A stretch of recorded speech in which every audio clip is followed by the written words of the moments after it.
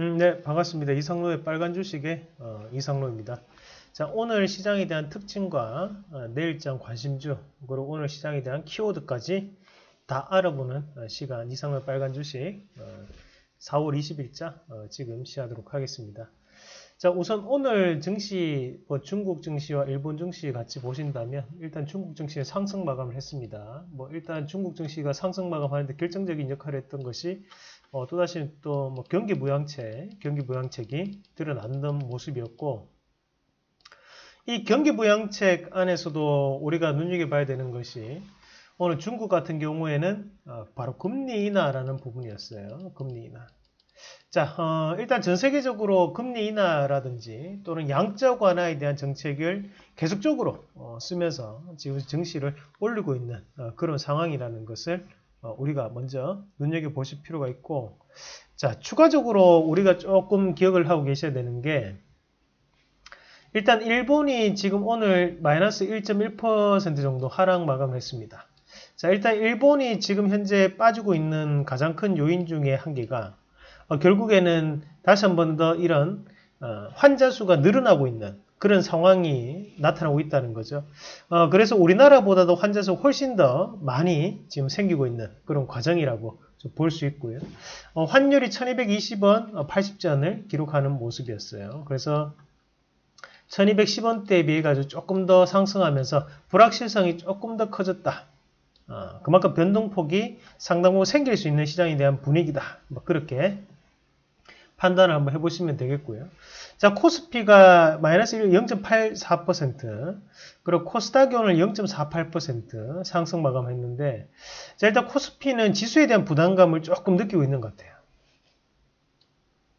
1900포인트를 중심으로 해가지고, 돌파가 나오고 난 다음에, 어, 소폭 조정이 조금 나오고 있는 그런 양상이라고 좀 보는 게 맞고, 자, 코스닥 같은 경우 0.48% 정도 어, 상승 마감을 했는데 어, 사실 상승폭 자체는 상당히 제한적이었습니다. 상승폭을 꾸준하게 유지를 해주는 것이 아니고 상승하고 난 다음에 다시 한 번 더 조정을 조금 겪는 그런 모습이 나타났다라고 우리가 볼 수 있습니다.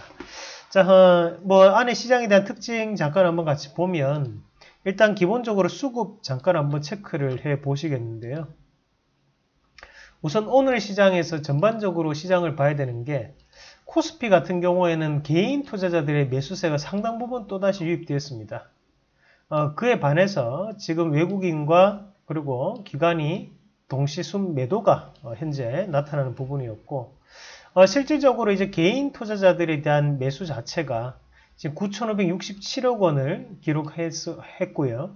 어, 뭐 100만 원 단위니까요. 거기에 외국인들이 4,900억, 어, 그리고 기관도 4,848억 원 정도 매도가 나타났고 오늘 시장에 눈여겨봐야 되는 것이 연기금도 오늘 매도를 나타냈고 자 투신 같은 경우에도 소폭이나마 또 매도를 했습니다. 그래서 하단에 보시면 오늘 금융투자 같은 경우에는 포트에 대한 교체라고 좀 봐야겠죠. 포트에 대한 재편 대신에 나머지 투신이라든지 또는 연기금도 매도를 하면서 시장에 대한 부담감을 상당히 느꼈다. 지수상 1900포인트에 대한 부담감을 느끼는 그런 기관 투자자들에 대한 움직임이었다. 뭐 그렇게 판단할 수 있습니다. 외국인들이 연속적인 순매수가 이루어지지 않았죠. 그래서 전일 같은 경우에 매수가 들어왔던 외국인들이 오늘은 다시 한 번 더 매도를 하면서 연속적인 순매수는 나타나지 않았다. 어, 그렇게 볼 수 있겠고요. 자, 코스닥은 마찬가지로 오늘도 개인 투자자들의 상당한 매수세가 좀 더 집중이 되면서 어, 수급 공백에 대한 우려감이 어, 생기는 모습이라고 추정을 한번 해보도록 하겠습니다. 어, 쉽지 않아요, 사실. 지금 꾸준하게 개인들만 매수를 하는 시장인데요. 어, 이랬을 경우에 수급 공백이 조금 나타날 수 있거든요. 그 부분을 조금 감안을 하면서 시장을 봐야 될 것 같다. 라는 말씀까지 좀 드리도록 하겠습니다. 자, 코스피 같은 경우 1940포인트 정도를 지금 저항 구간으로 현재 보고 있는데 어, 지금 시장에 대한 분위기 자체가 어, 상단으로 올라갈수록 조금 부담을 느끼고 있는 과정입니다.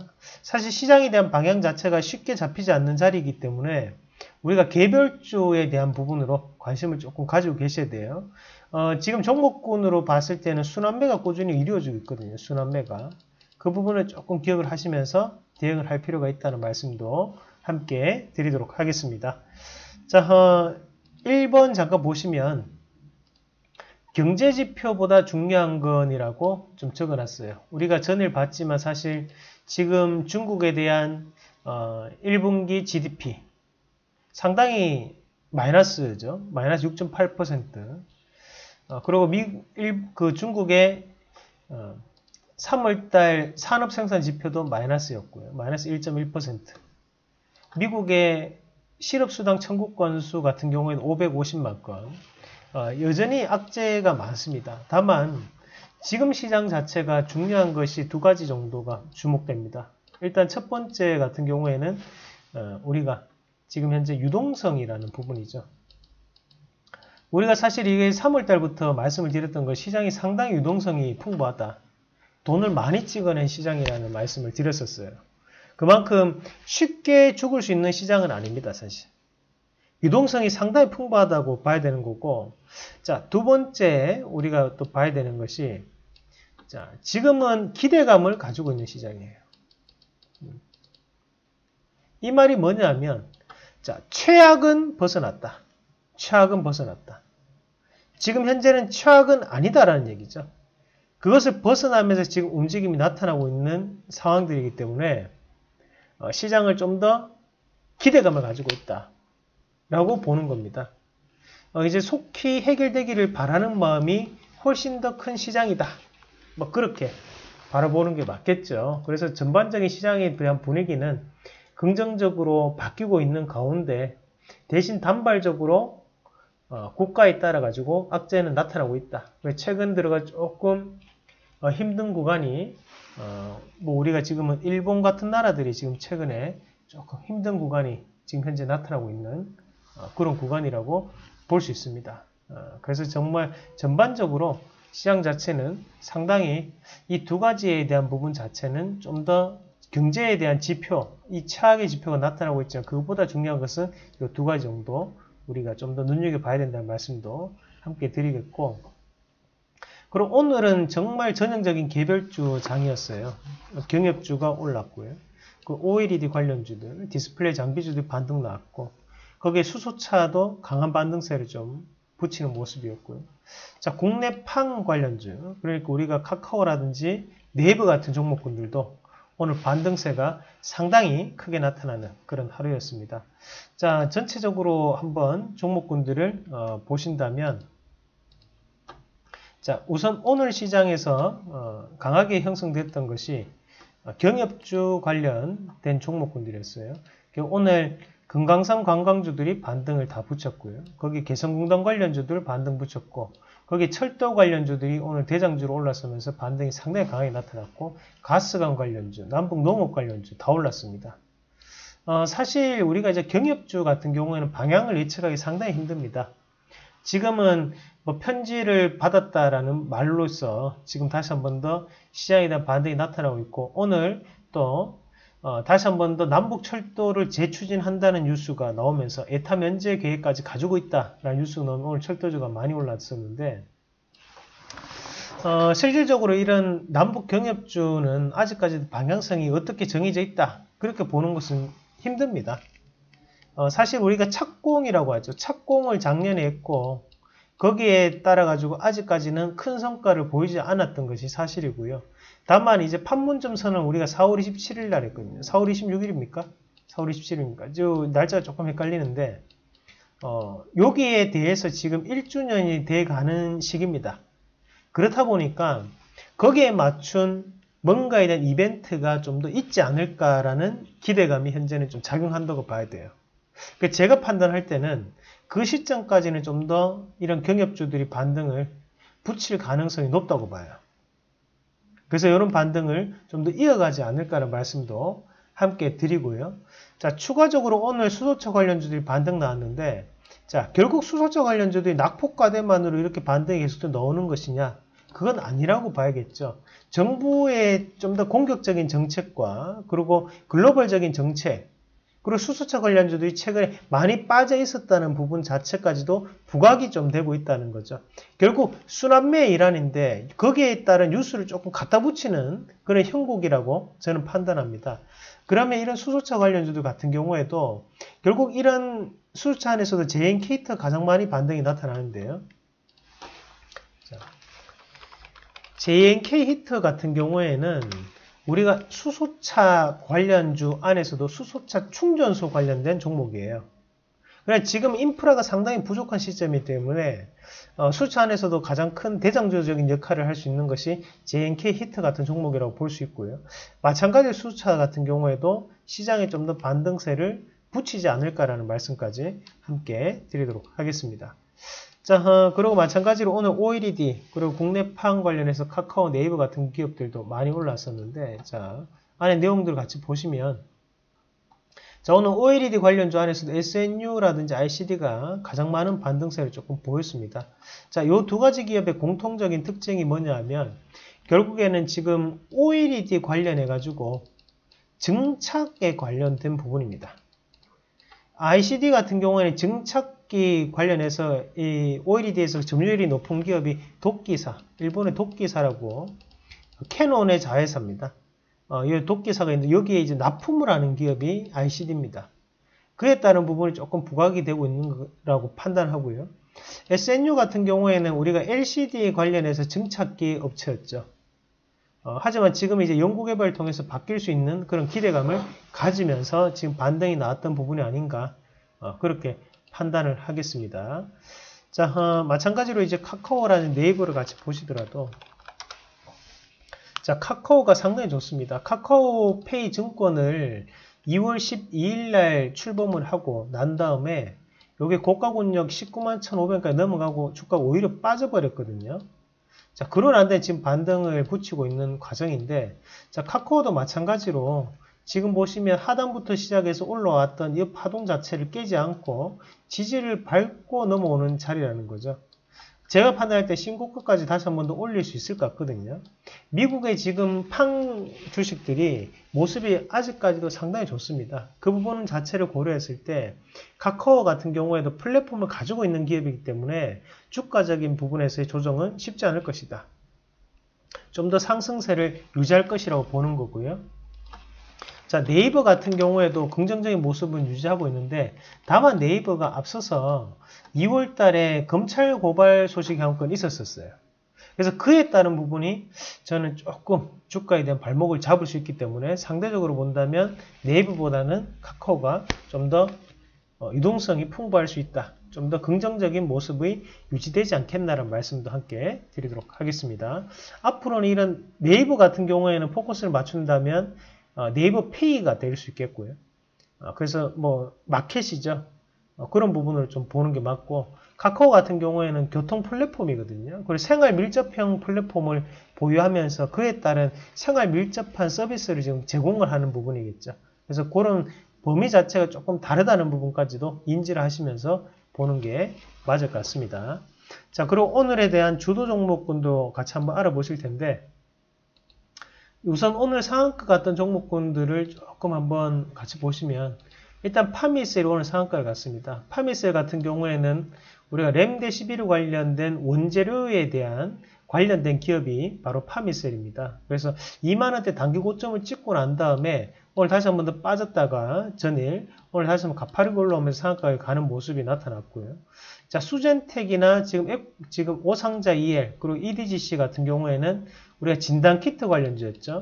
오늘 진단 키트 관련주들이 대부분 다 반등이 나타났었는데 미국에서 이 진단 키트 관련해서 지금 시설 자체가 오염되었다. 그만큼 정확률이 상당히 낮기 때문에 지금 다시 한 번 더 우리나라에 대한 기술적인 부분이 부각될 수 있다라는 뉴스로 상당한 움직임이 좀 나타났었고 뭐 관련된 종목으로 진 매트릭스도 오늘 급등 양상을 보이면 오늘 17%가 상승을 했고 인트론 바이오 같은 경우에 장중에 14,500까지 올라가는 그런 모습들이 나타났습니다. 뭐 씨젠도 오늘 반등을 좀 붙이면서 10% 급등 양상이 나타났었고요. 그래서 전반적으로 오늘 진단키트 관련주들이 상당히 좋았다는 거. 그리고 에코마이스터 같은 경우에는 철도 관련주죠. 그래서 오늘 남북 철도에 대한 재추진 얘기로 오늘 반등을 붙이는 모습이었다. 뭐 그렇게 볼 수 있고요. 어, 사실 뭐, 제 6일 CNS 같은 경우에는 조금 종목군이 좀 작은 종목군이죠. 그래서 이 정도로 좀 알아두시면 되겠습니다. 그래서 시장은 어, 보면 코로나로 인한 순환매가 지금 일정 부분 돌고 있는 상황이 지속되고 있다고 봐야 되고 다른 한편으로는 또 개별주 양상 안에서 또 순환매가 지속되고 있다. 뭐 이렇게 두 사이클로 나눠서 돌아가고 있는 그런 상황이라고 판단을 할 수 있겠습니다. 자 그러면 어, 오늘도 어, 내일장 관심주 한번 짚어보실 텐데요.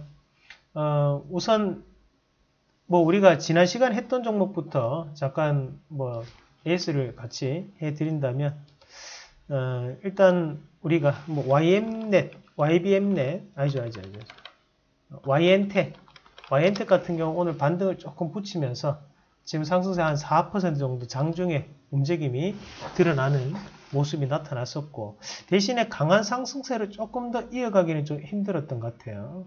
어, 이런 모습이 이루어졌다라고 볼 수 있고요. 마찬가지로 우리 지난 시간에 이제 SN테크 같은 경우에도 반등을 붙였었는데 그 반등 자체가 오늘 3%에 대한 반등만 이루어지고 마지막에 약보합권에서 마감을 하는 그런 모습이 나타났습니다.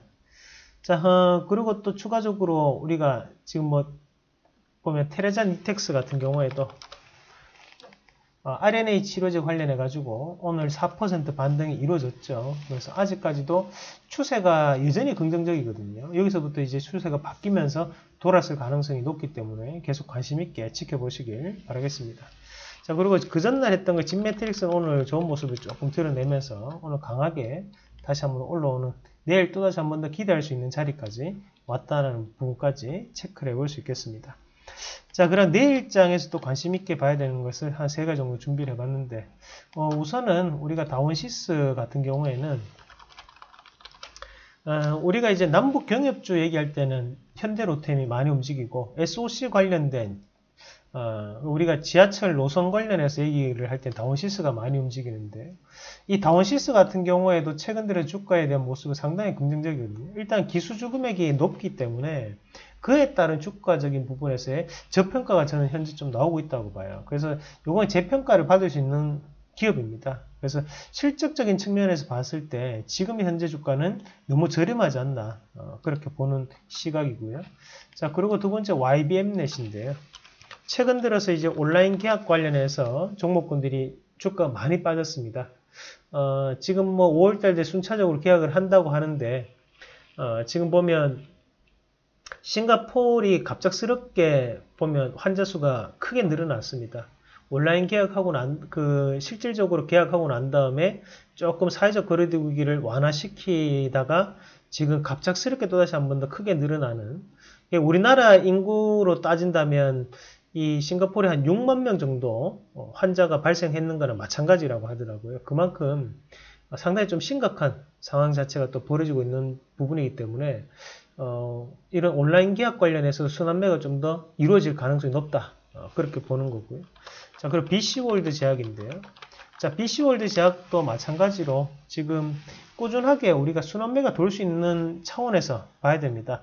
오늘 다시 한 번 더 이슈가 됐던, 될 수 있는 부분이라고 판단하고, 우리가 뭐 램데시비루 관련해서 이슈가 한번 크게 되면서 순환매가 좀 돌았던 것처럼 어, 마찬가지로 지금 요 관련주들도 많이 빠져 있죠. 이렇게 빠져 있을 때는 다시 한 번 더 저가에서 매수세가 상당 부분 유입될 수 있거든요. 그래서 여기에 관련된 종목군들은 다시 한 번 더 체크를 해보자.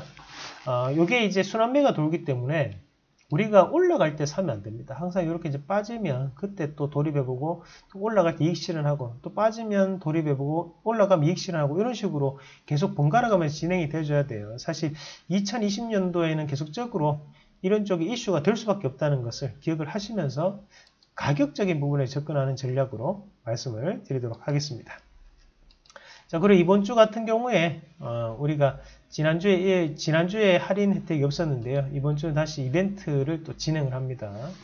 어, 그래서 연장권 관련해서 이벤트가 다시 한 번 더 있기 때문에 이번에 이렇게 어, 와원넷 홈페이지라든지 또는 한국경제TV 홈페이지를 통해서 할인 이벤트가 주, 진행되고 있으니까 참고하실 분들 어, 이번 주에 할인 혜택 받으셔서 한번 같이 해보시는 것도 어, 좋다는 말씀까지 드리도록 하겠습니다. 제가 월간 베스트입니다. 어, 그만큼 뭐 좋게 어, 좋은 수익률 거둘 수 있도록 어, 열심히 하고 있으니까요. 어, 관심 있으신 분들은 많은 참여하시길 바라겠습니다. 자, 어, 오늘 또 바쁘게 하루를 또 보냈는데요. 음, 시장 자체가 이제 개별주 시장이다 보니까 종목마다 조금은 편향적으로 다르게 현재 시장이 나타나는 분위기가 높습니다. 어, 뭐 급하게 또 추격 매수해서 종목을 올라타시기보다는 조금 빠져있는 종목군들에 대해서 다시 한 번 더 눈길을 주시면서 어, 순환배가 돌고 있다. 급등할 수 있는 재료를 좀 더 선점하는 전략으로 시장에 임하시길 바라겠습니다. 자, 오늘 하루도 수고 많으셨고 또 내일 이 시간에 다시 뵙도록 하겠습니다. 이상입니다.